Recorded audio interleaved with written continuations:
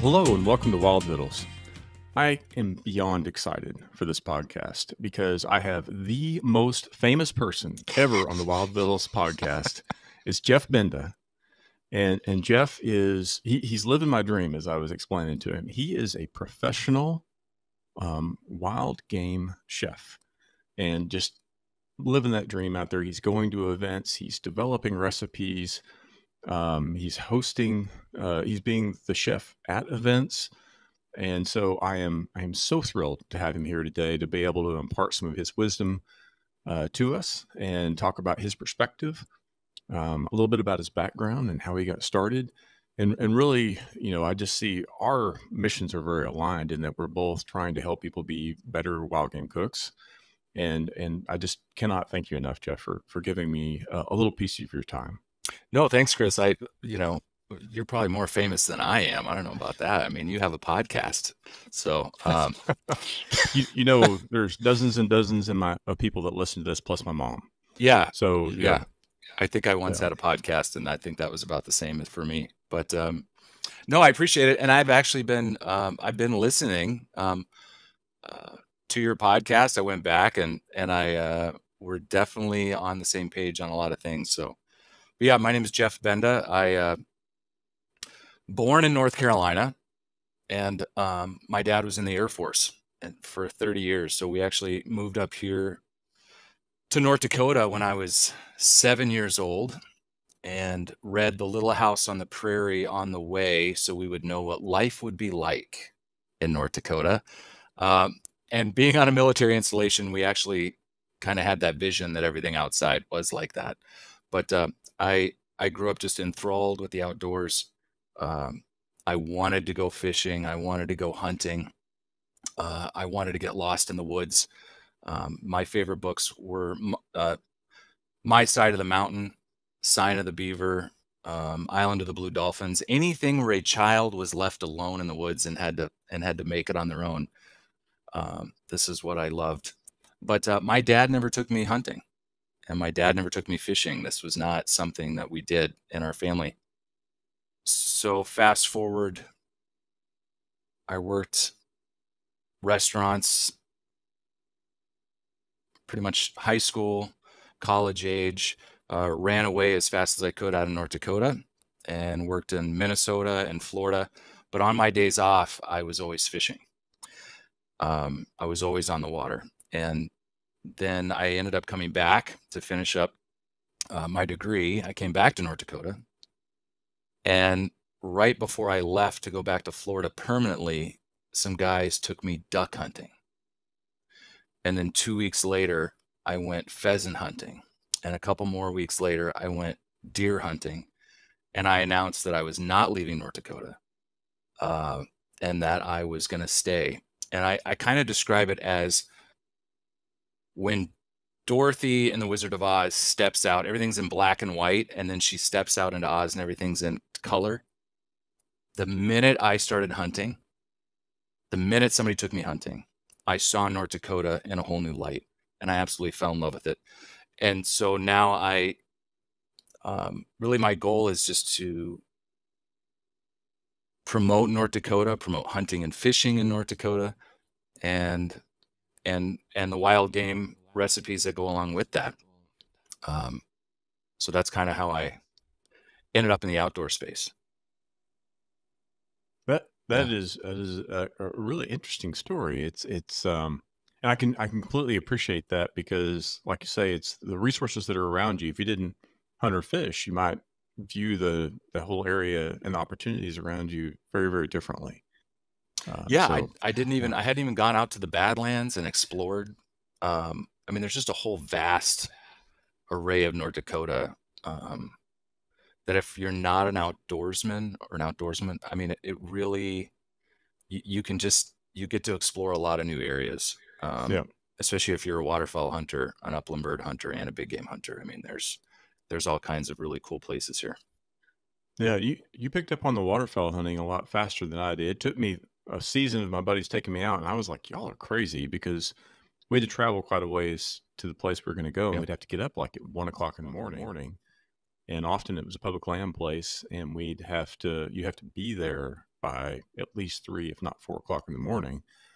And then you might not get a spot as well. And I was just like, this, I'm taking a nap, you know, and then going out and going hunting and just like doing without a night's sleep. It was it like that for you and you still were excited about it? No, uh, we don't have the check in kind of places Okay. here in North Dakota. Yeah. We have public land, um, but then we also have North Dakota is very unique where if the land isn't posted, I've heard this. it's open yeah. to hunting. So if there's Yep. not a sign that says do not hunting, or if it's not electronically posted, which you can go on apps like onX and check, but if it's not posted, uh, you do not have to ask permission. Now, is it good practice to? Yes. But you will end up in situations where if a field isn't posted and there's 5,000 mallards sitting on it and there's six vehicles scouting it, you better be ready to drive out as soon as those birds leave the field. Because if you wait till two in the morning or three in the morning, there's going to be guys sitting out there sleeping, and they're usually college kids, much younger than than us older folks who don't want to do that anymore. But no, it, there's plenty of there is plenty of public land here in North Dakota uh, to hunt. There's tons of opportunity, and do we have a lot of out of state hunters? Yes. Do plenty of residents complain about that? Yes. Am I one of those? No. Because guess what? There's another slough or there's another field down the road with plenty of birds. So, right. No, Yeah. I get that. Yeah, it, I think I feel, you know, if you go across the nation, every every state has some opportunity that's unique to that area. You know, you know what I mean, and some more than others. Right. But you know, some places it's you know maybe they've got black bear. Some places it's waterfowl. Um, I think it's up to all of us to kind of try to figure that out. Sounds like you're really leveraging you know your your opportunities you have there in, in North Dakota. But uh, and I'm, you don't really sound like a North Dakotan. Um, maybe it's your time you spent in Florida. I've got this stereotype in my head, but you may have as well of Texans that we all have a very depends on who I'm talking. It depends on when I'm around. When I'm back down right? in the south, I might pick up my Yeah. southern accent again or if Yeah. I'm if I'm around certain people then you might hear certain accents, but that's actually not a Fargo thing.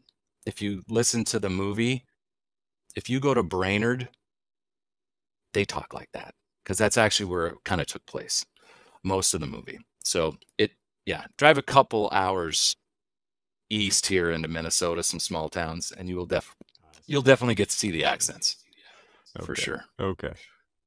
Well, you know, I'm really interested. Uh, what it sounded like in your kind of background and story. If I talk about just a little bit Sure. of your your chef skills, did did you train? So I worked at restaurants. school? Yeah, I worked at restaurants. Uh, I was ready to leave for the Culinary Institute of America, the CIA.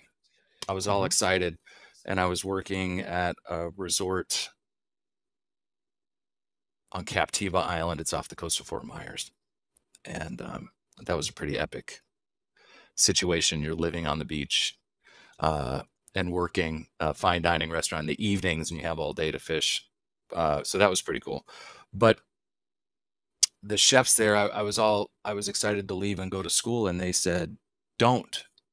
The head chef that I worked for, he said, "Stay here and work with us and learn because now this is the mid '90s." He said, "You don't want a hundred thousand dollars in debt, student loan debt."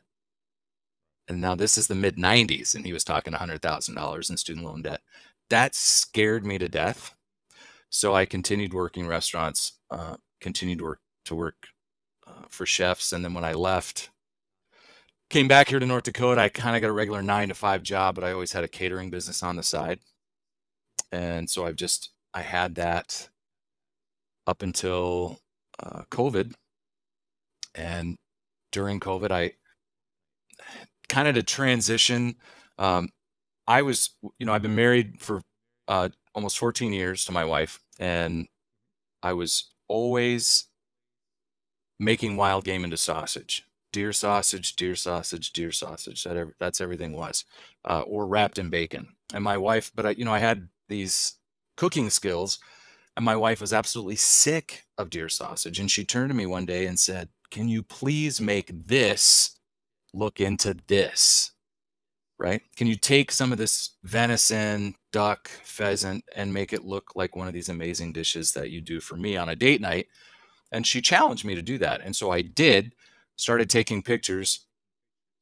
Uh, and I think you've mentioned Hank Shaw. And so I actually was posting pictures on Hank Shaw's Facebook page and got discovered. Uh, and somebody wanted to publish one of my recipes, and then another one, and then another one. And then during COVID, I got on an app. It was Clubhouse. So it wasn't all audio. And there was a bunch of out of work chefs who were doing these Zoom cooking classes. And they said, Jeff, um, so I was kind of talking wild game. And um, I don't know if you know Danielle, the Diva Q. She sells, you might, if you ever, she sells Traegers on QVC.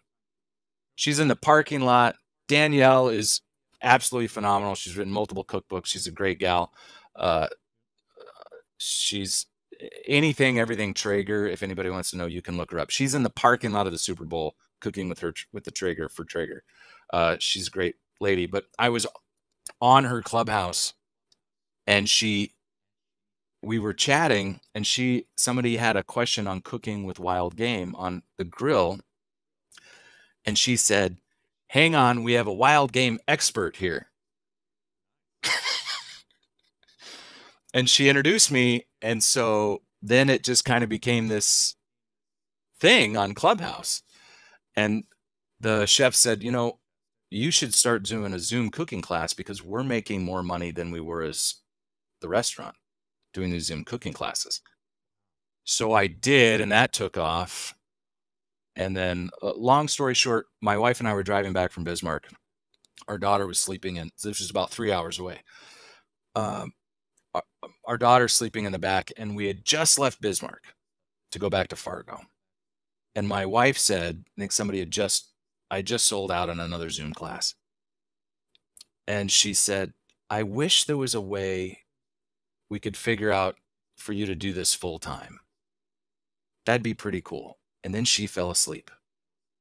And I heard my wife say, You should quit your job and go hunting and fishing all the time. So, if there's any ladies listening and you are married, you understand that this is a situation that most men they they may they may not hear what was actually said. In that situation, it was. So, as soon as I got back from to Fargo, I started Ubering 40 hours a week in addition to my my other job and saved up for six months and then I quit to start doing what I do now. And it was a really hard first year. And then someone asked me to to write a cookbook, which had nothing to do with wild game, but it, it was a very nice paycheck. And then it, things just kind of took off. And so now I'm able to do it full time and I absolutely love it.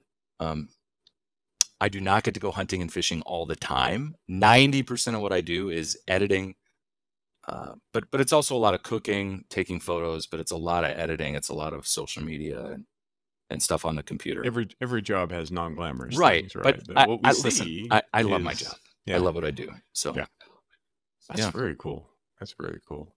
No, that's just that's an epic story, and I appreciate you kind of taking through the the bits and pieces there about you know kind of the incremental and, and some of it Being you know right being at place, the right right place. time, right? But absolutely. also probably your consistency Right. of you know the quality that you're putting forward in the way of your your pictures and your your contributions, and you got recognized as that authority, right? But Yeah, it uh, was really interesting. If you, yeah, it's not. Somebody once told me, uh, it's not who you know. You know, you've heard that. It's all in who, you know. It's who knows you, and that's really become true for me. Being in the right place, at the right time. Yeah, that's that's definitely uh, that is very true. That is awesome. Well, um, just to kind of continue on about about your work, which again I'm very jealous about your work.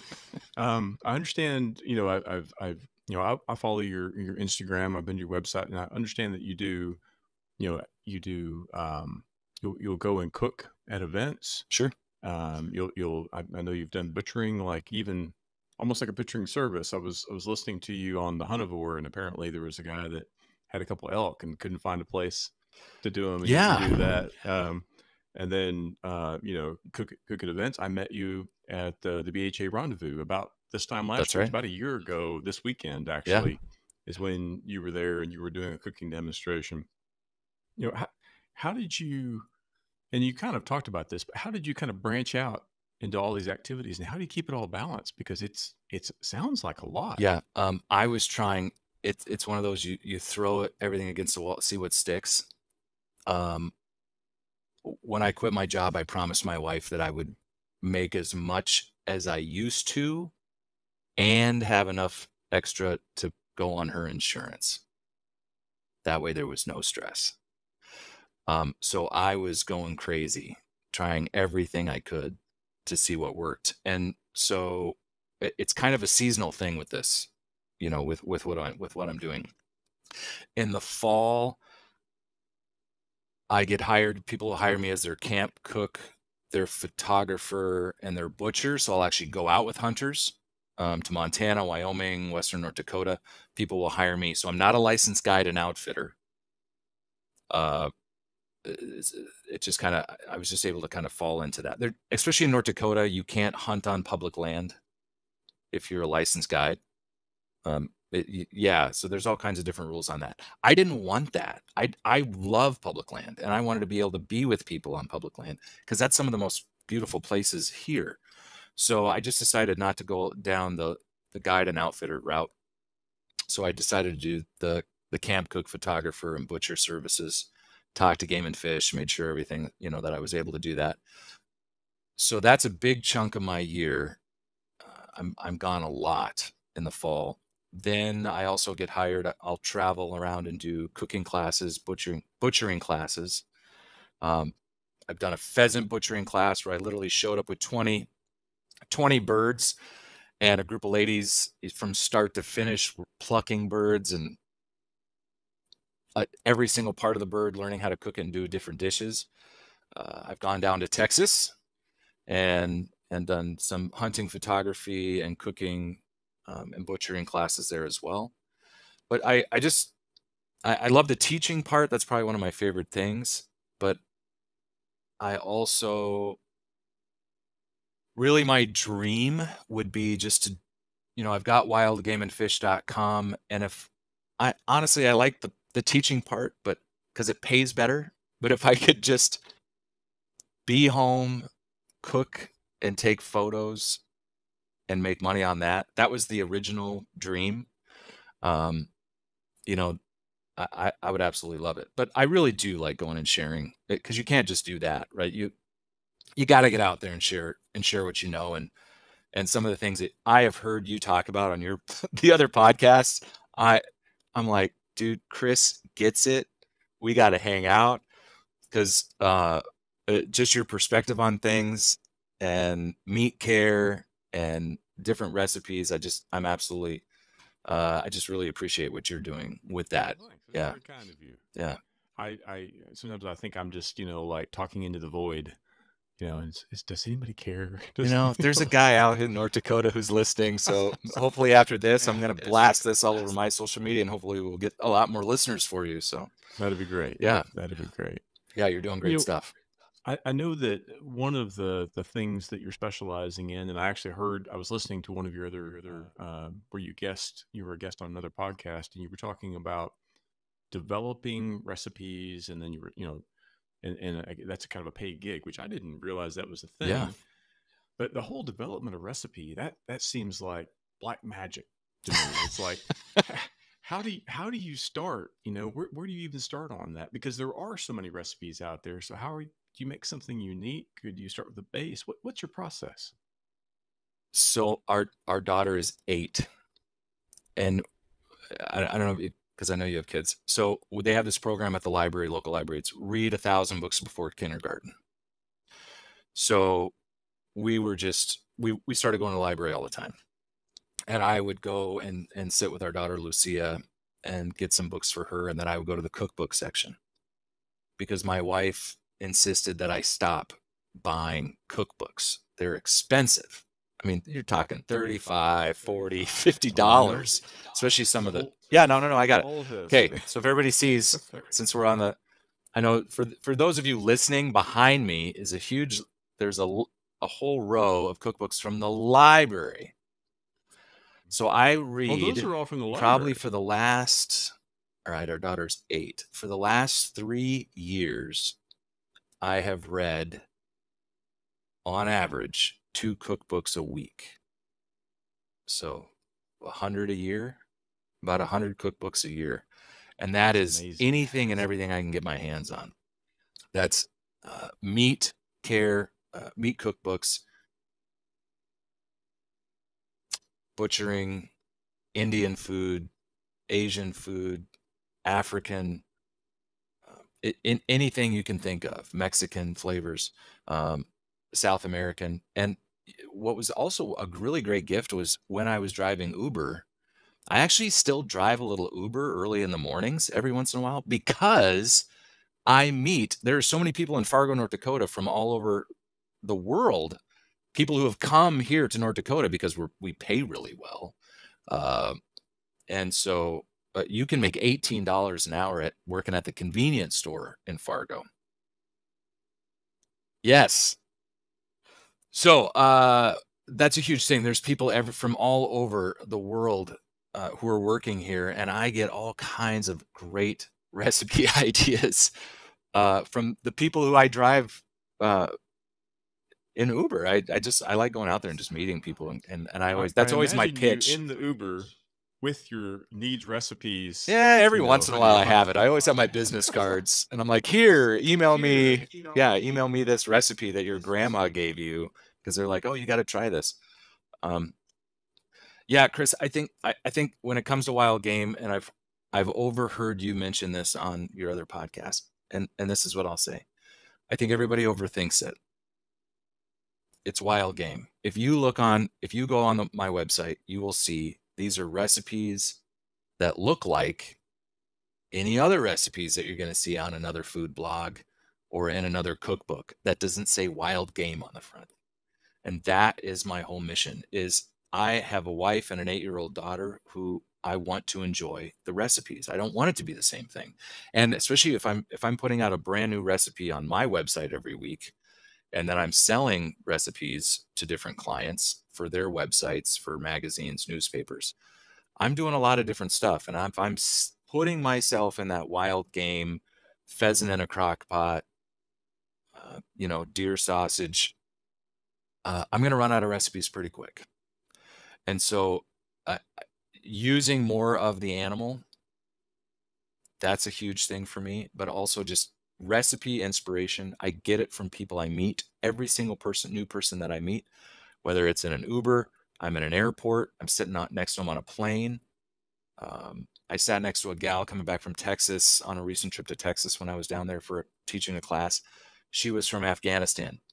I asked her about food. That that is a great way to connect with somebody and and she sat and we talked for three hours i pulled out my notebook and i would put it away and she's like wait i came up wait i got another one you got to try and there's another one i got recipes for goat head that i'm like well maybe i can try this with a deer someday i guess but uh yeah there's just all kinds of if you look around and talk to people like you yeah chris i think that was perfect it's a universal thing.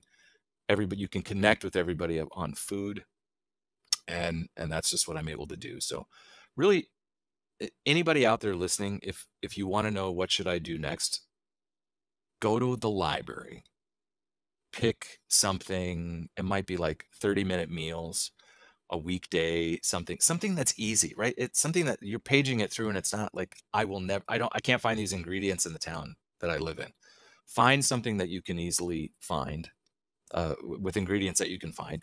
Take it home, open it up in front of your family, and let them pick out something that looks good. And then figure out if it's a chicken dish, maybe you can use pheasant or grouse.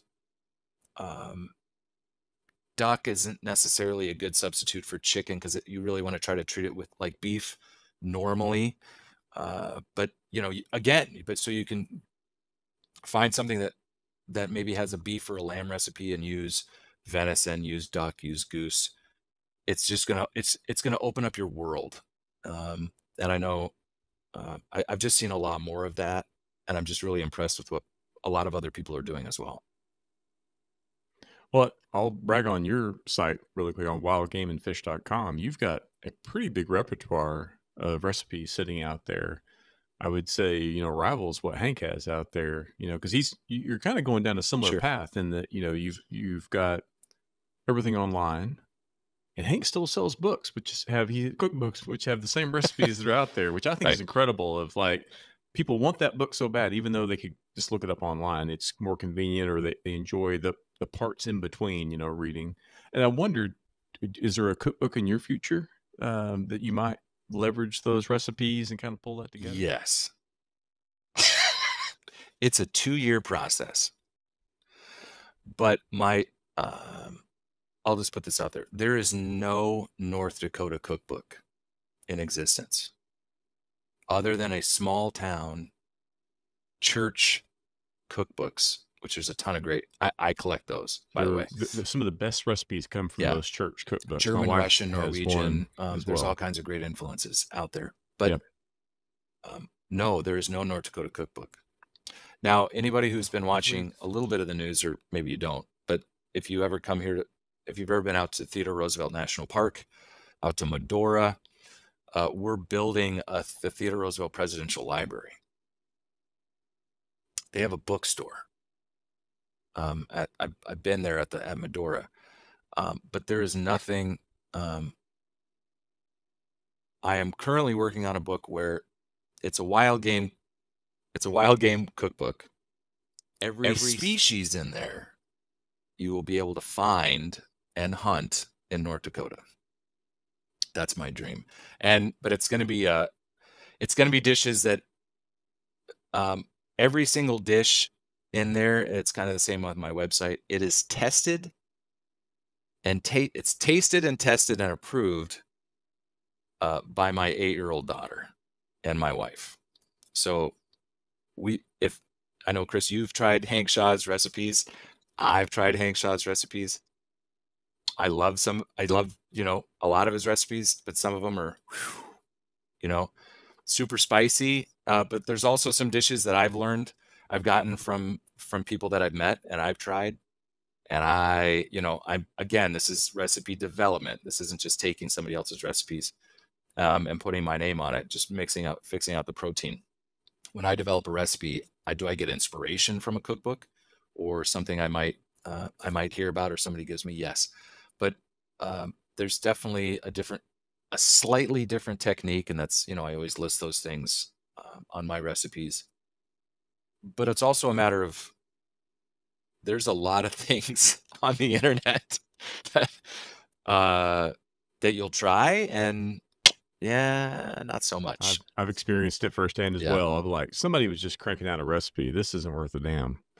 Yeah, there's a, actually a really famous food blogger who has a cookbook. I got her cookbook at the library and she said to do her flank steak. I hope I pray that it was a misprint and it wasn't her.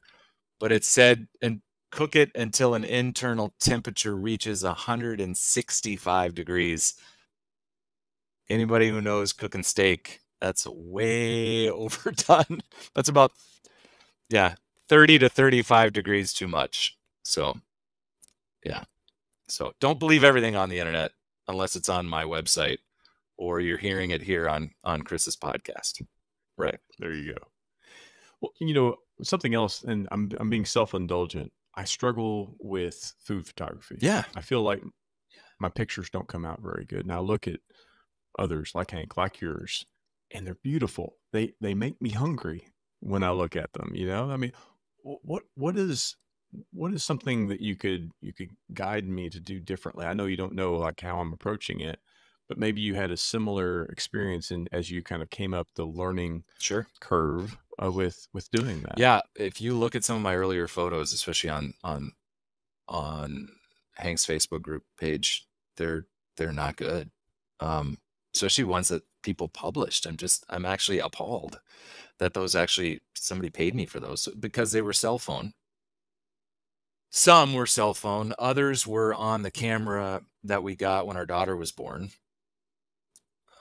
But I I traded that in. So right now I shoot it, it's not it's not crazy. Uh, can you do it with your cell phone? Yes. Um, my new, I think I've got a Samsung S23 that I shoot all my video for. Do I use it for photos? No, but I'm just, I like, can you do it? Yes. Are some of the iPhones out there amazing? Absolutely. But I think it's also a matter of after you take the photo, whether it's with a, a DSLR or a cell phone, um, there's editing. I, I think that's just that extra step that nobody, that a lot, too many people don't use but it's super easy. So let's let's talk through this. So now I've got you can see behind me I've got the I don't have a um, a mirrorless camera because the minute you jump from uh, go from the DSLR, so I've got two 7500s, Nikon 7500s. It's going to run you about 800 $900. Okay? That's that's no lens. You don't have a lens yet. Okay, and then you want to I shoot with a 50 millimeter lens. That is all you need for food photography. Okay. Um, and I, I, I shoot everything. So, and you just need one. Now I have two back here. I have two identical cameras because if I need to swap them, I just swap things out. I just, I don't have to mess with it.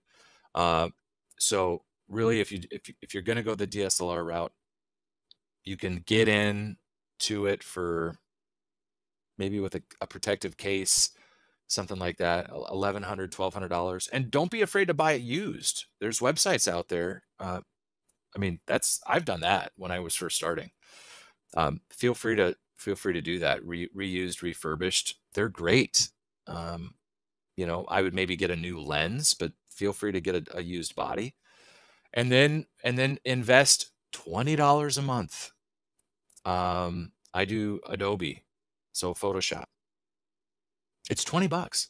And then when you edit a photo in there, then it's saved on the cloud. So now you, especially when I'm doing client work and I'm editing, so I have a copy on the Google Drive. I have it on the minute I edit a photo in Adobe, it's saved on their cloud, and then yep. I have another another copy on my uh, that's nice. You have some redundancy, kind of a, a, backup in case you have an issue. Yeah, and there's all kinds of great things you can do too, uh, you know, on on Photoshop. But but when you pay that twenty dollars a month, then it also gives you the then you also have access to their video editing software. So and then you can download that on your phone. Uh, just be aware that you need a a lot of memory on a laptop. If you have an old laptop, uh, that my wife was really excited when I told her we had to buy a new laptop. I had to upgrade laptops because Photoshop yeah. does use a lot of space. Yeah, I'm using um, Adobe Premiere Pro. Yeah. For my editing. Okay. First of all, I felt like I was flying a 747 with all the controls and all that was required. Yeah, learning presets that, that can be a little yeah. tough, but but you know, in the first day, I just I had a headache. I was like, this is killing me. But you know, give me a week or two, and I'm, I'm now I got it down. Yep. Not that I know everything. I know how to do the things that I do. Sure. And I'm constantly kind of expanding my repertoire as I go forward. Yeah.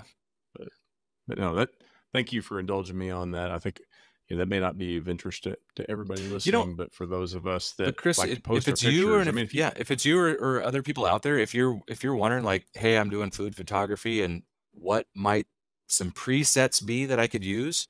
um, shoot me an email, you know, and and I'd be happy to jump on a Zoom call with you or or um, just a phone call and and walk you through it if if you have if you have Photoshop and uh, if anybody out there, I, this is uh, and you want your photos to look a little bit better, like feel free to do that. I would I would love to. T- I, I'll take a few minutes and and walk people through that. That would be great. I, I really appreciate yeah. that. And I know others will as well. And your email is brilliant um, because it's so easy to remember. it's just Jeff Jeff in Fargo. Jeff in yeah. Fargo. J E F F I N Fargo at gmail.com. That's at a, gmail.com. I scored I that like, one 20 that, years ago.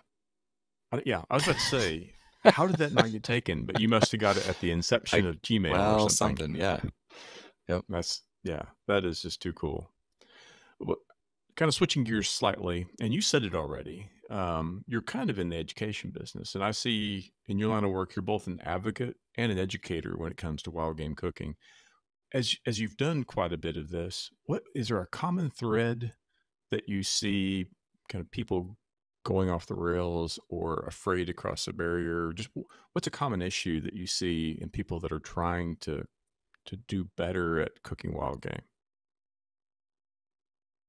Um, well, I I think we have a couple different categories of people. There's the people that uh, listen. I I am not here to persuade someone who loves a pheasant in a in cream of mushroom soup in a, in a crock pot that that's wrong. Go ahead. If you love your venison steak cooked well done and then eat it with ketchup, go nuts, right? If as long as you're if you're shooting an animal and bringing it home and eating it, go crazy. I am not going to tell anybody the way they cook is wrong. If you love it that way, eat it that way. Um, as long as you're eating it, not throwing it away, by all means, go for it. So I am not a food snob when it comes to that. Um, you know, I, I love going to the store and getting a rotisserie chicken when I just don't feel like cooking, you know, the same as the as the next guy. So um I I think people just tend to overthink. I think that's one of the biggest mistakes is is everybody tends to overthink it. Um and uh, yeah, I guess we kind of already Yeah, covered this, didn't we? So I I think just are you looking for mistakes that people are is that what you mean Well, or just you know, just kind of what people maybe people ask you questions about, you know, on a consistent basis. I'm just Yeah, uh, uh, aging is one of the biggest questions that I get. That's one of the biggest. I spend more time at the end of a cooking demo. So I I travel and do cooking demonstrations, and I just I've already had four this year, um, just this calendar year, and I have another one here coming up next month. But I hang out and, and answer questions afterwards, but and usually we kind of have a Q and A at the end. Um, dry aging and wet aging is is and I if we start to go down this, you know, down the rabbit hole on this one right now, um, we'll use up all the time. But I think um, I really need to write some. uh, I I'm working on some blog posts where it actually goes more into depth on that and explaining that because I spend more time working on the importance of aging. Can you do it without a walk-in cooler? Yes. Do I have a walk-in cooler? No. Um, that's you know once the mortgage is paid off my wife knows that's the first thing i would like to do um so but uh yeah i uh, I, I would say that's probably the biggest questions on that um is aging but you know when i age because i i when i do a cooking demo or i'm or i explain to people or, or i'll show up and people will ask me to bring wild game and I will have steak that is aged for a couple weeks. And then, and it might be just dry aging or it might be a mixture of dry aging and wet aging. And then I cook it medium rare. And then they, and then I slice it super thin and it's only seasoned with salt and pepper. It's not marinated or anything. And it's not even, and then they're like, this is amazing backstrap. I'm like, it's bottom round off of a mule deer shot in the Badlands of Western North Dakota. And they are just, their mind is blown. You're lying. This is beef. It's not like they just, they just can't get over it.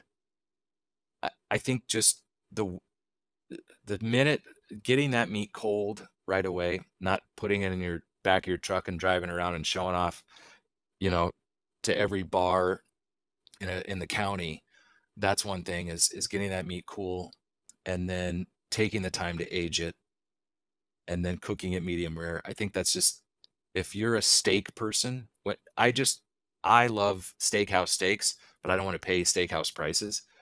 You're literally paying at a really nice steakhouse you're going to pay $50 for an eight ounce steak. That's $100 a pound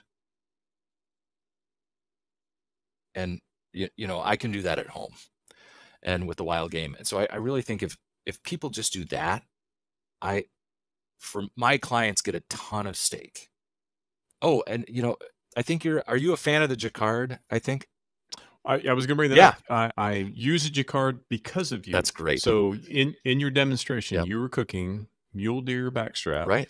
and you were showing, demonstrating you used it then um, as you were doing the prep and then the cooking, and you cooked it just like you described. It was like I think 130, 135 degrees, thinly sliced with. Uh, it was pretty fancy because you had some baguettes too. I think you were serving it with. Oh, sure. Yeah. And oh, it was just mouthwatering. Everybody loved yeah. it. Yeah, I think that using a Jacquard meat tenderizer, if you go to the website, it's on the homepage. There's a big picture.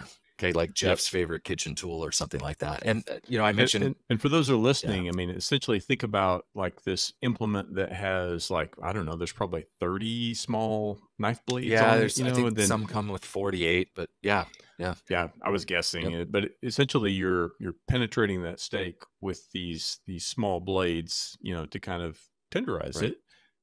If you have marinade, I think it would help with some of the absorption it does. as Yes. well. So it, I think it, I think it does really good. Uh, You know, I like I said, I ha- I bought one right after uh, I got back from the rendezvous when you did the cooking Sure. demonstration. So Yeah. yeah, Yeah, everybody asked me. I'd travel around and do. They're like, you should start traveling with these and selling them. You know. yeah, or at least hand out a link, you know, or a scan card so they buy it. Yeah, something like that, yeah. something like that. Um, yeah, feel free if anybody's listening and you want to buy one, go to wildgameandfish.com and click on it because I think I get three percent with every purchase. a little, every little bit helps. My wife would appreciate it.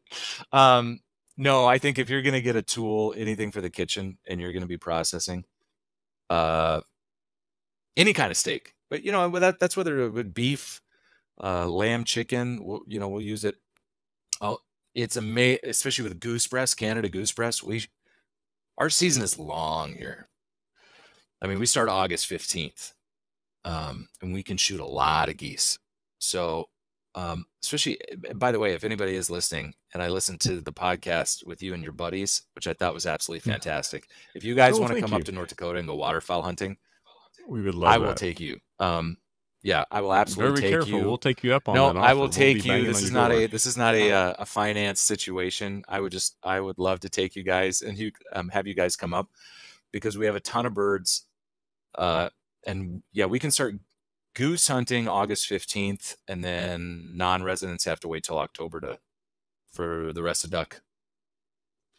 Yeah, so we have six weeks of goose hunting, Canada goose hunting before ducks even start. So yeah, um, so we do a lot of geese. So, but again, Jacquard. It works great for those. For the, it might be that tougher, you know, like an old Canada goose that's 15 years old, um, you know, or uh, a bighorn sheep, or you know, like an old deer, anything like that. But that Jacquard tenderizer is just amazing. And you know, I, I was I was listening to another podcast that you were a guest on, and you mentioned that you were utilizing the card when you were processing. And I think that was aimed towards like you're you're gifting a little bit of venison diplomacy, some some meat to some folks, and you want it to be perfect when they take it out of the package. I had until I heard that, I had always thought, oh, it's for when I defrost and about to prepare. Do you, how do you handle it? Do you just do you do both, or does it depend upon the situation? So generally I'll when I get an animal, I'm leaving it in the in the big cuts, like so like a hind quarter, like a whole hind quarter or a front shoulder. And I'm just I'm wrapping it up and freezing it because I when it's season, it's season. Now it's also not a lot of people know I also I I farm soybeans and corn with my father-in-law and my brother-in-law. Yeah. Um, and my brother-in-law and I are actually taking over next year. So it is it a huge operation? No. But um it is a lot of work. But I also have to be between that and clients um when I go hunting, it's am I applying for a buck in North Dakota? Yes. Okay, because it's 30 bucks. But do I get one every year? Absolutely not. But so I shoot a lot of does. Generally we shoot about we need about 6 deer, antelope every year for my wife and I and, and our daughter to That is an amazing amount of game. I mean, Yeah, that- between cooking- to you're using it. Yeah, all. so I mean, I'm doing recipes, and I'm I'm you know, I'll gift some, or you know, we'll have people over and things like that. So yeah, we need about six deer a year, or six antelope deer. You know, not, not all of them are big, so some of those are Texas deer, right? I need to shoot nine of those to equal one mule deer. Yeah. in North Dakota. No, they're They're they're, like not an antelope. Yeah, Yeah. but th- yeah, they're they're a little yeah. small. Yeah. But um, so I, I'm leaving them in the in the hole. Okay, so when I when I cut that up, uh, it's still a little frozen. So when I'm when I'm cutting it and packaging it up, I'm. But yes, I think Chris, you you heard me say this on another podcast. Every time I package it, I don't know if I'm going to be cooking it, if I'm going to be out of town and my wife's going to cook it, or if I'm gifting it to somebody who knows nothing. This is their first experience with wild game. So I always make sure I remove the silver skin, um, that it's aged, that I remove all the silver skin, that I have gone over it with the Jacquard meat tenderizer, and then it's wrapped up and ready to go. Um, I, I just it, it needs to be ready as soon as it gets out. So I'm not I'm not brining it. I'm not you know seasoning it anything like that. When it comes to um, ground beef or ground venison, which I, I really appreciate. It was on, it was on one of the podcasts. It was it was your podcast that I was listening to, and I appreciated you were talking about not adding fat automatically. So when we started doing when I started processing my own, and I followed the rule, right? Pork fat, go and grind it up with pork fat. And my the minute my wife saw that big chunk of white fat in there, and I it wasn't a lot, right? She was she was like, I, I don't want this. No, I I don't want pork fat in my burger. Just give me the burger. I want the lean burger. So we do that.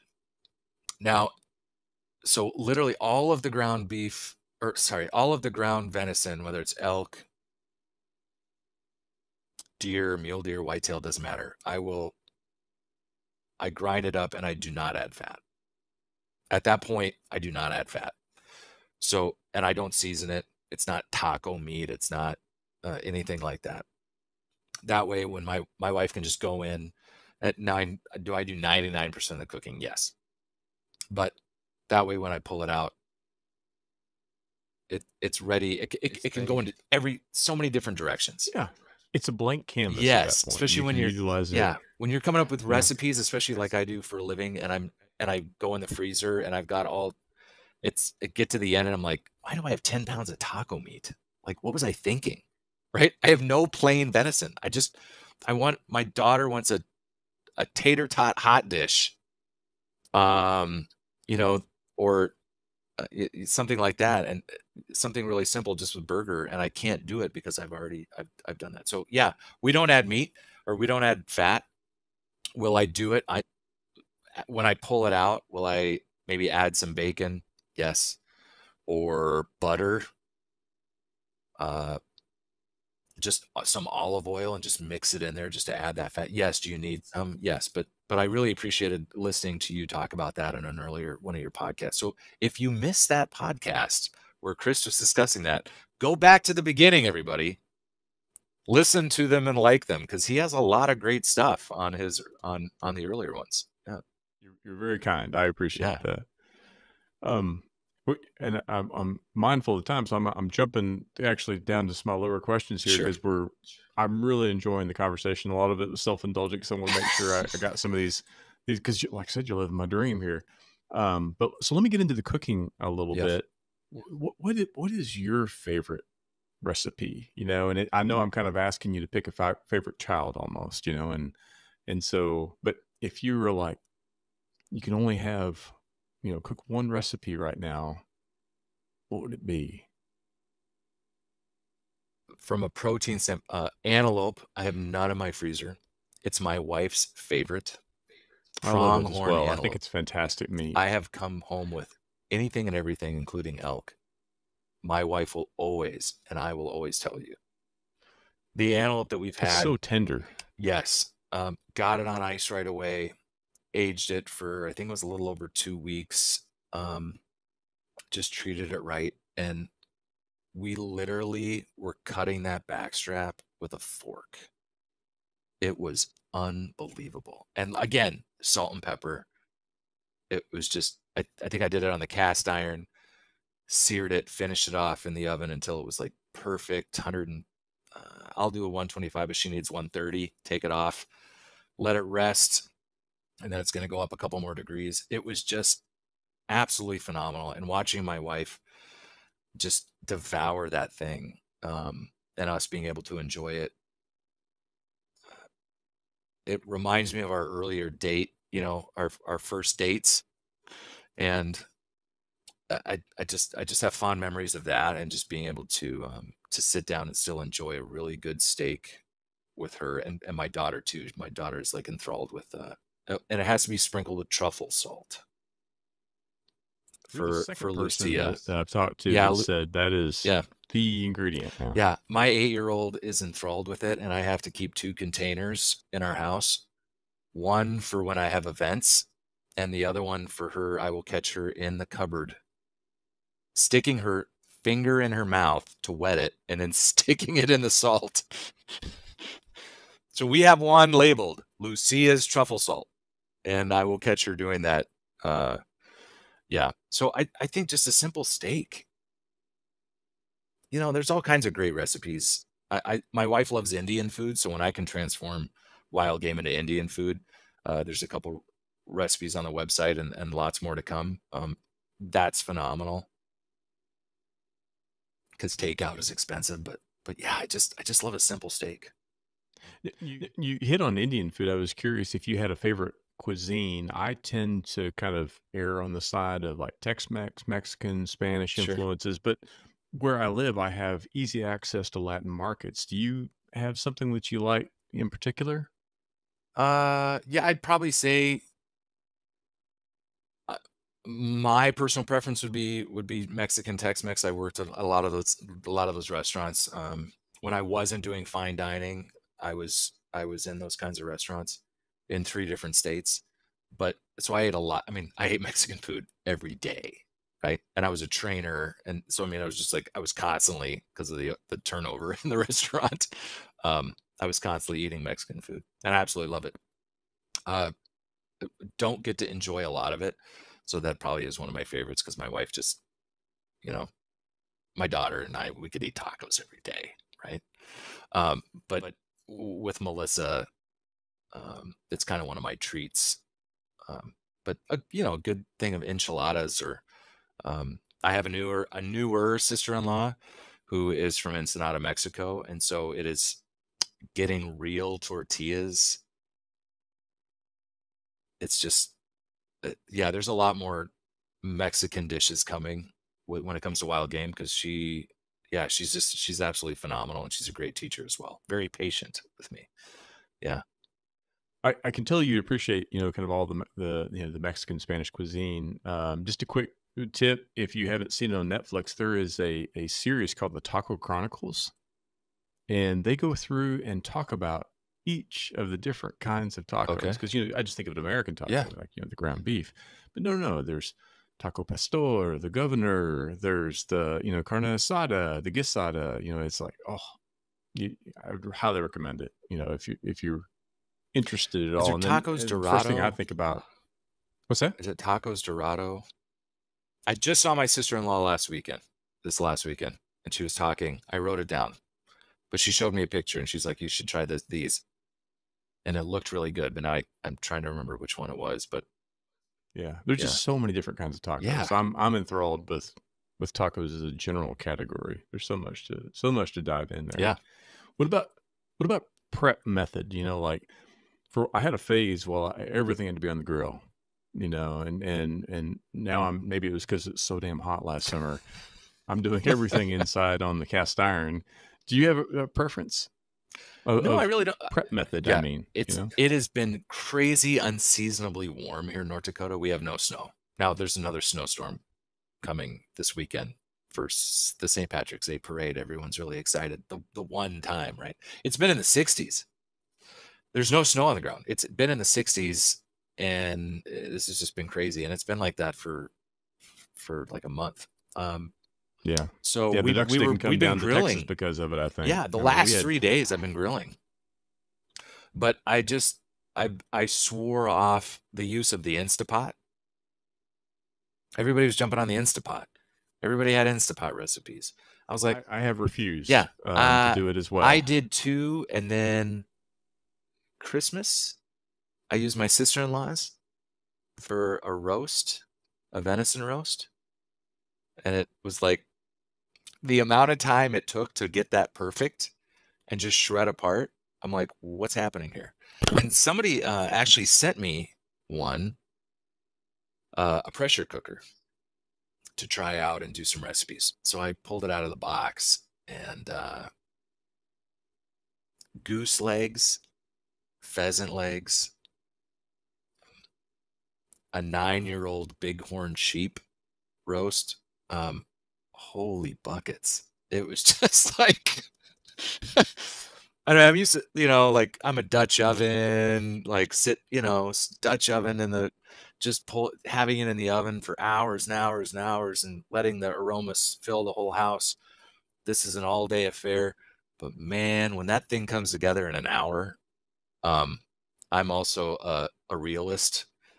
Um, and I'm, I'm, I'm a dad with a, a wife and a daughter, and you know we need weekday meals. So um, I will use any tools available to me so I really no, I really don't have a favorite because I keep getting new favorites. I, I but I haven't done the sous vide yet, which I think is absolutely bizarre that I haven't after all these years. Yeah, Catering, well, we did across it. catering. Have I ever done it with wild game? No, which I it, Hmm. it it's just weird. We did Yeah. we use it for I- catering.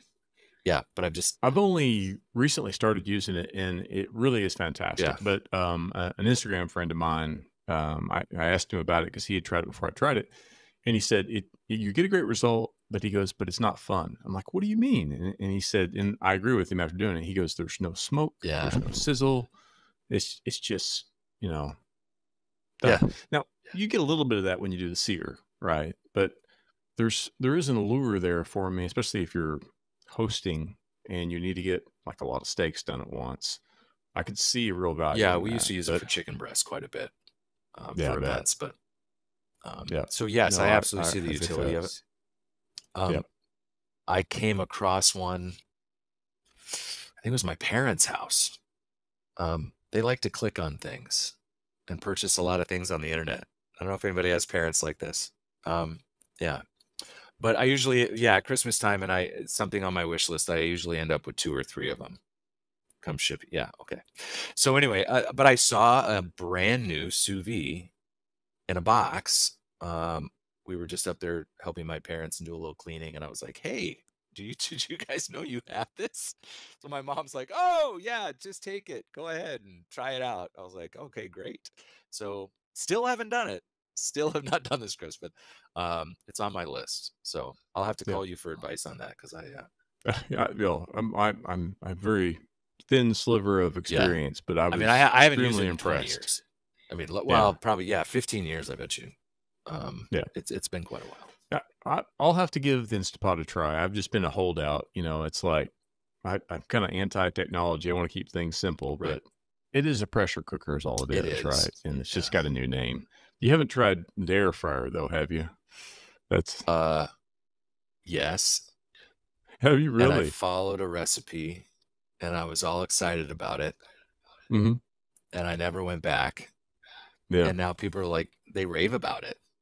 I I had a bad experience with some shrimp. Um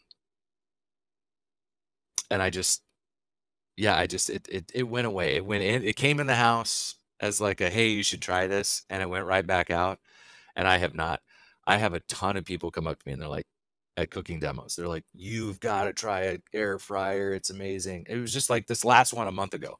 I was here in Fargo doing one, and she was like, "No, you got to try it. It's I'll send you a recipe." I'm like, "Uh, "There's plenty of people with air fryers. If you send me a recipe, I will try it again. I will."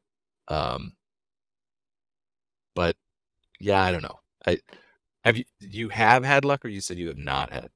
I well, I haven't. I have refused to try it on principle because I mean, so You're like you and Okay. me on the pressure cooker for years. Yeah. Yeah, pretty much. I mean, I'm just, I'm not, it's funny because in my professional life, I do a lot of things with technology, but in my hunting and fishing, I like things simple. So, Yes. for instance, when I fish, I fish in a kayak that's powered by pedals.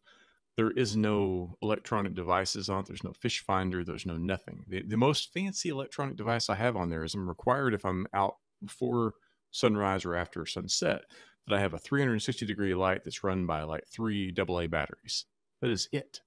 So I'm kind of an anti-technology when it comes to some of my my things like in my smoker.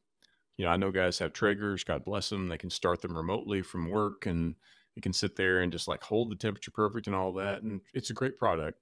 I have a I have an offset stick burner, you know, that I have to feed Oh wow. the you know the logs Yeah. into, and I have to sit there and adjust everything to keep you know the temperature right.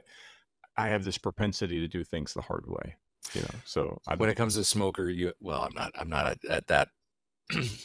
I did buy a two hundred and fifty dollar smoker. I did not go Traeger. A lot of my friends who, you know, like Danielle, she'd be really mad at me. She tried to talk me into it. But I, I my old Masterbuilt that I bought the month before my wife and I got married, so I wouldn't have to ask permission to do it. Um, I bought a lot of decoys too, a lot of duck decoys right before the wedding. Yep. But anyway, Yep. um, a wise man. yes. Um, but that Masterbuilt smoker, just an electric smoker, lasted me 15 years. No, I no, I'd be 14 years. And um, I just bought I just replaced it. I just bought a new one. Um, you know, I, I just yeah, they have the apps and all my friends are like, well, no, and man, you don't even have to test it. You can you can adjust the temperature and everything like that. I'm like, you know, if I'm gonna be use the smoker, I want to be home, smelling it, enjoying it. Um, yeah, that's right. Oh, by the way, when it does come to being jealous, I saw your post with you in the kayak. Was that just last week? You, dude, I was jealous of you. You talk about like, oh, I'm so jealous, Jeff, of the way your life. You're listen, man, you're out fishing. Okay, our ice fishing, I didn't get to go out once because of our warm weather. It, this fishing has turned into a disaster here. But when I saw you in the kayak, um, God, I wanted to be there. It just looks phenomenal. And yeah, It is phenomenal. The weather. that's another thing on my wish list is to get that paddle. Yeah, we have a canoe and we're right on the river here, but um it's a river and the levels are just you never know if it's you know, one day it's flooding and it just it just was kind of a crazy condition. So it's not really a good river for for regular conditions, but yeah, I absolutely um that kayak fishing, man, that looks phenomenal. It is fantastic. Now that is a small sliver of my overall kayak fishing because that's um, white bass. It's the spring spawn, Yeah. And so I'm in creeks on that. The majority of my time will be actually out on the coast, and so you don't have land nearby. But it's equivalent, although it's a lot windier, equivalent experience of just out with nature and the birds, and then hopefully the fish are biting. Yeah, I'd like to try it. God, My mom grew up in Tampa Bay, and so we go down there. I have been down there quite a bit. I haven't been down there in, in almost a year now, but uh, you know, I see I see guys and gals out there in the kayaks and just yeah, God, just yeah, I love it. yeah. I would really like to do it. So Yeah. Yeah. Well, I mean, you have me blushing here. You're actually looking, you're listening to my podcast, you looked at my Instagram, man. It's just check, check. You know, I can, I can, I can uh, go to bed smiling tonight. So I appreciate your support. yeah, I know. I was um, we were grilling out today. Some um, and I was buttering the buns and I told my wife, I was like, hey, you know you, she's like, make sure you toast the buns. I said, you know who else has to have their buns toasted is Chris's wife. I heard that on one of the very first podcasts. I was like, you two get along great. Chris's wife and you both need their have to have toasted buns. So Chris, I am listening, buddy. I am paying attention to your um that information that you're putting out there. That's that's a very important step, by the way, everybody. If you're not toasting your buns, put some butter on there and do that. It's a it's a very important step. It'll highly um increase the enjoyability of every burger. So I, I would agree. yes. I would agree. And this is coming from a guy who got his start in a burger joint. So yeah, very impressive. Well, Jeff, you know, we're, we're, we're nearing about an hour and I want to, I want to be respectful of your time. Um, just a couple kind of round out questions is, you know, our, our listeners, hopefully are people that are trying to improve their game around wild, you know, game, fish, deer, any, any kind of like bits of wisdom you like to impart, you know, as, as we're, we're getting ready to wrap up, you know, what is it like in your classes or when you're cooking for somebody that you you generally share with people? Yeah, um don't be afraid to try new things for sure. And I know that can get very scary, especially when now I talk about yeah, I'm trying all these different things because well, because I shot six deer, right? And I have a lot of protein to uh, to experiment with. And I know not everybody is blessed with that. So if you've only got two goose breasts in your freezer, if you've only got two pheasant breasts in your freezer, you know, you might be scared to try something different. I like it this way. And so, you know, I get that. But if you do have uh, kind of that opportunity, a, I would say if you really do want to get into more of wild game cooking and you and like you really want to start using more of it and you have that opportunity to not be so picky on a buck tag or a bull tag. Gosh, you guys, there's I mean, I don't want to start naming states because then the the the possibilities of of me getting a tag um, are going to go down. But um, and I know they just made some changes in Montana that are, I was just I was just ready to throw up because I got the email. Um, that used to be my big meat hunt. Um, but in the units where I hunt now, you can't hunt on public land for does, mule deer does. You can, um, and in those units, a non-resident can only get one tag. Um, that's pretty disappointing. But there are so many opportunities. There's so many states people that I talk to that you if you want to go out and just get out there and go hunting and experience that, there are people that I run into and they're like, "Oh, my freezer, I haven't had venison in the freezer, deer in the freezer for 4 years." I'm like, "Really?" They're like, "No, cuz they want to hunt on that farm that they grew up farm hunting on." They absolutely love hunting. They are like obsessed with it. They watch they they listen to, you know, podcasts like this all year. They watch it on they watch it on TV. Um, but then they just are stuck in that I am only going to hunt deer on this one piece of property this one week. And I'm telling you, um, I hunt from August. Um, I can hunt August through April. You know, between hunting, this isn't fishing and outdoors, um, or even into May actually, because I mean, really, you could do that. Because so August with with early goose here, all the way into spring bear if you wanted to. Um, just if you love the outdoors, I would just really highly encourage everybody to to maybe think outside the box and get a cow elk tag or a doe, apply for a doe tag. Um, and and just just be able to go out there and experience it. So and feel you know keep applying for that buck tag or that bull tag. But if it's going to be six years or five years and you are obsessed with hunting in the outdoors like Chris and I are, get out there and get a doe tag, you know, and it's they're cheap. They are not. It is not expensive at all. Um, there there's a lot of great opportunities for that. Um, and I think just like I said, you know, cooking steaks medium rare. If you haven't done it, try it. Um, really, just uh, meat care is a huge thing. I don't think we got to, um, you know, the guys who put meat in a cooler with ice water for oh man. I, I know we don't have time to get into that but i just i just really yeah i had a lady i was giving a cooking demonstration. She was on the phone with her son who and he's like well i change out the ice every two days. Like they leave it in there for a week. Their whole deer and i'm like oh dear heavens you know so um i'm just going to say this on that i, I gotta address this chris okay if you went to a steakhouse you're going to pay $100 a pound for a steak or whatever. You go to what just any restaurant. I don't care what it is. You can go to Applebee's. They're like, "Hey, we're you're going to have the you order the steak at Applebee's." And they're like, "Well, come pick out your steak." It's like picking out your lobster. And they bring you to the back of the kitchen and they open up the cooler and it's all a bunch of gray meat because it's been sitting there for a week. And they're like, "All right, pick out your steak." You would be mortified.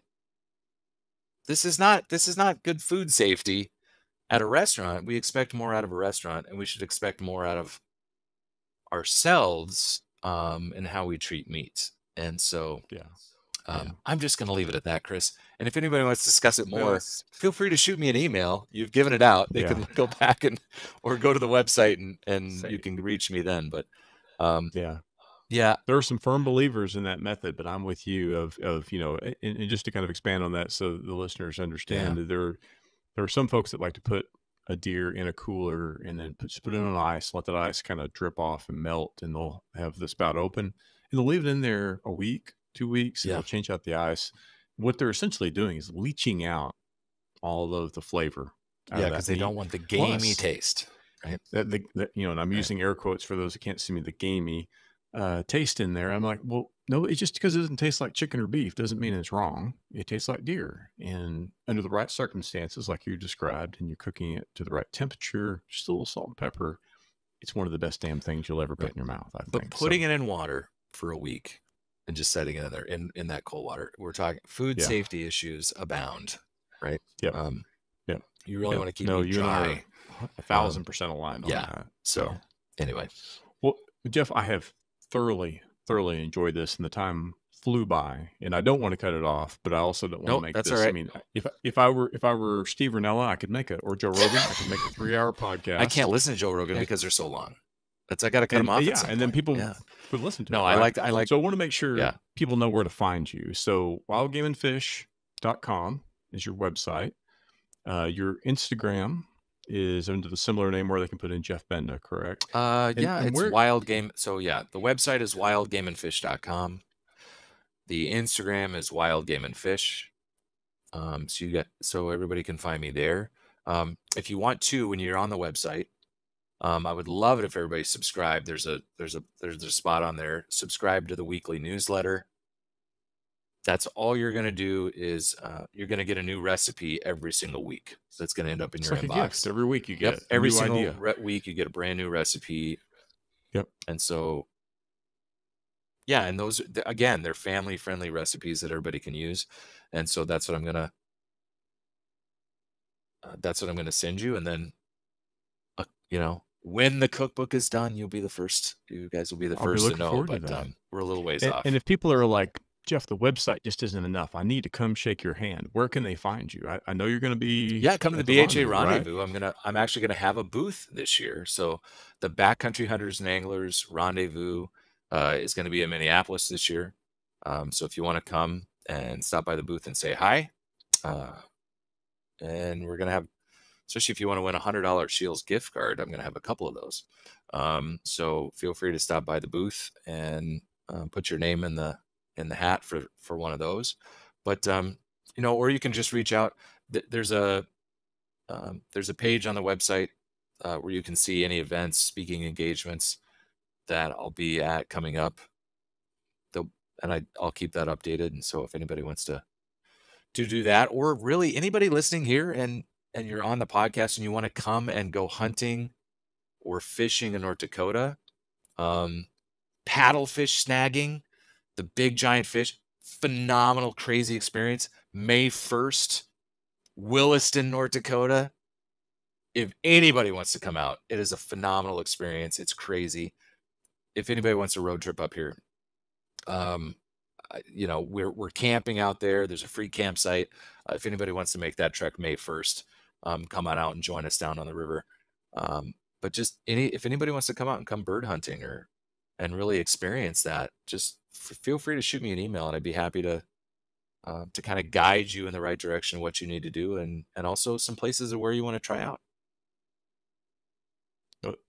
you know clearly you know you're you're a genuine and and and uh, just you know, authentic person i really appreciate you jeff and just you know to, to let people know jeff really means this i mean like i had met jeff just a year ago and we had kind of hooked up on instagram um, and you saw that i had this uh, this podcast and before i could even i was going to reach out to you. You reached out to me before i could and said and you volunteered. You said hey i'd love to come on. And i just deeply deeply appreciate that. And like I said, you are the most famous person I've had on this podcast. And I, I mean, this is like having, I, You I need to I- connect you with some people, Chris, so we can get you uh, some more names on here. well, it's, it's, you know, I, I- I tend to make analogies of, of how, you know, celebrities. And so at that, no, it was the, the rendezvous, the BHA rendezvous in Boise. and I got to eat breakfast with Randy Newberg. I- And because we were just You, I am so both- jealous. Yes, my daughter. we both were standing My there. daughter was devastated when I told her again because I found out um, I'm doing the big field to table dinner, kind of on the eve, the first night of the BHA rendezvous. If anybody wants to go, it's only six hundred dollars a plate. You heard that, six hundred dollars a plate, but it's only a thousand dollars for a couple. So bring a friend and save some dough. Um, but every year I do this, and I've been helping, and Randy is never there, and my daughter is my daughter is enthralled with Randy Newberg. So last year I did get to meet him, and he signed a book with his good arm because he had a, his broken arm in a sling. Yeah, so I did get a couple minutes with him.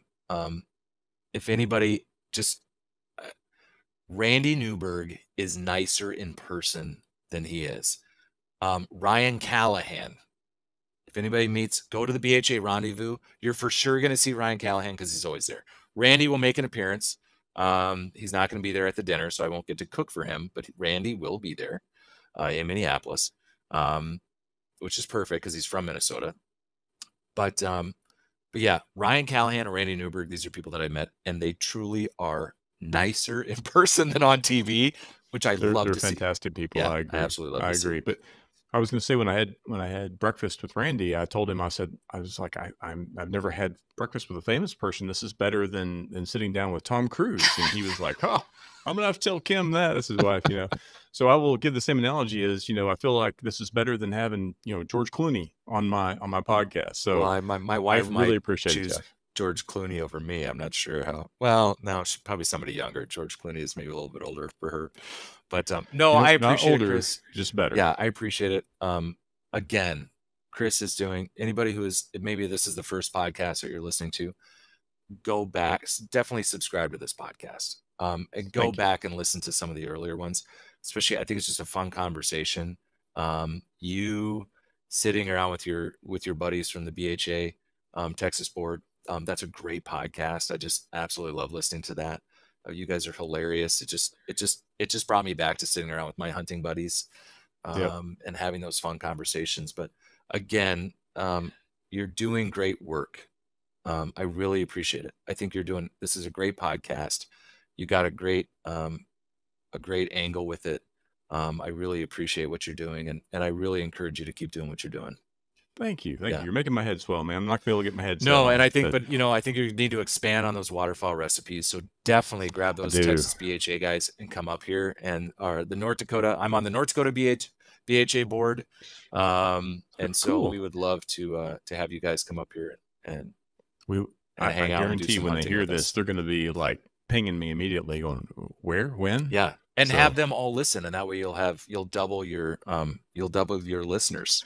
It'll, it'll be all those all those guys plus my mom. Yeah. Yeah, absolutely. So, well, Jeff, thank thank you very much. I'll we'll sign off with that. I just you know encourage everybody. Uh, you know, really strive to be a better wild game cook. Go look at Jeff's website, um, his Instagram, and try new things. So, thank you, everybody. Really appreciate you listening. And until next time, good night and good luck. Thank you.